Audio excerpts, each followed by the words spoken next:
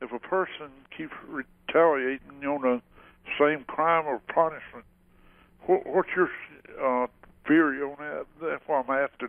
Okay, BT, thank you. A repeat offender is sentenced differently.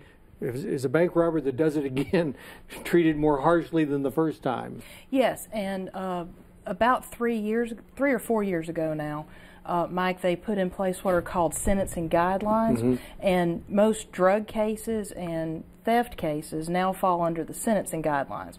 For repeat offenses on those, it's it's a mathematical form, but it does you do get more points. It's sort of a point system, and the more points you have, the worse it is.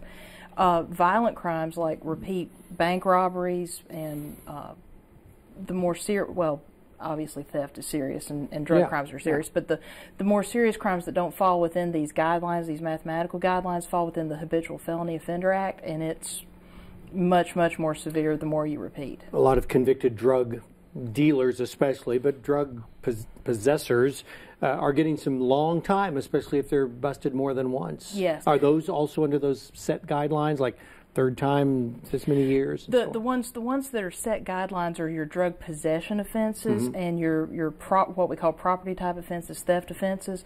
The more serious drug dealing ones are not. And usually the Habitual Felony Offender Act bumps it up at least one felony level. Mm-hmm. For example, if it was a, a Class C felony where you'd be looking at a sentence of one year to 10 years, a repeat will usually bump it up to a B, sometimes an A, depending on right. depending on what you've got going on. You definitely do not want to be repeating those things.